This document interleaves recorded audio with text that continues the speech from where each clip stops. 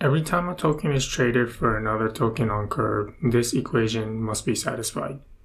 Today we'll take a look at how this is implemented in the curve contract. Here is the exchange function. We'll say that there are XYZ tokens and we're trading from X to Y. I'll briefly go over this code and then focus our attention on one of the most difficult code to understand, the function getY. Okay, so first it transfers the token that we're selling. The reason why it's using raw call is because some ERC20 tokens do not return any outputs when the function transfer from is called and other ERC20 tokens do return an output of Boolean. So here it's using raw call, gets the response in bytes. If the response is greater than zero, converts to Boolean, and assert that the Boolean response is equal to true. So once this contract has the token that we're selling, next it computes the new balance of tokens that we're selling. So this would be the current balance plus the amount that was transferred in. And then it computes the new balance of token that we're buying. dy is the amount of token that we're actually going to get. Computes some fees. Updates the balance. And then transfers the y token. Here again, it's using the raw call because some ERC20 tokens return an output of Boolean and others don't. If it does return an output of Boolean, then it asserts that the response is equal to true. Okay, so that's a quick overview of the function exchange. Let's now focus our attention to the function getY. Here's the function getY.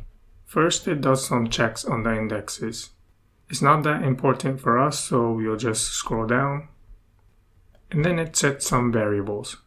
Here, a and p is equal to a times n to the power of n minus 1. The function getD uses the same technique as this function getY to compute d. So if you can understand this function getY, then you'll have no problem understanding the function getD. A and n is equal to amp times n coins. Amp is equal to a times n to the power of n minus 1, and you multiply by another n, so you get a times n to the power of n. Next, it runs a for loop, computing s and C. Here are the values of S and C after each loop. For this example, we'll say that there are three coins X, Y, and Z, and we're trading from X to Y. So I will be equal to 0 and J will be equal to 1. On the first loop, this part will be true, so S will be equal to X, and C will be equal to this value. On the second loop, underscore i will be equal to j. So this will evaluate to false. This will also evaluate to false. So this part of the code will evaluate, basically skipping the loop. So after this iteration, the value of s and value of c still remains the same. On the third loop, this part will evaluate.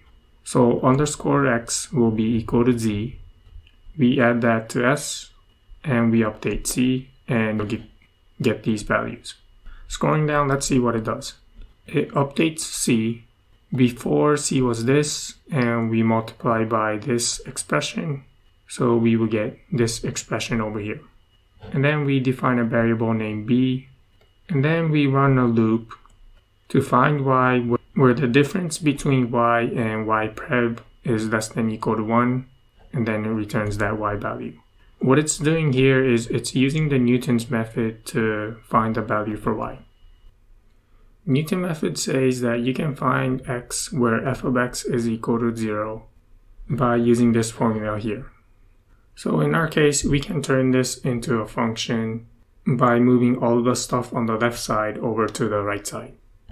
In other words, we define y to equal the equation on the right side minus the equation on the left side. When you take the derivative of this function, we get this expression over here. And to find y where g of y is equal to 0, we apply the Newton's method to find the y value. You do some substitutions and simplification, and you'll eventually arrive at the equation below. Here's the final equation. And you can verify for yourself that this expression is equal to this, which is equal to this. The top equation is what we got from the Newton's method, and you can see that these two equations are the same. So that is how get y computes the new balance of y tokens. I'll put the link for this code in the descriptions below. Thanks for watching.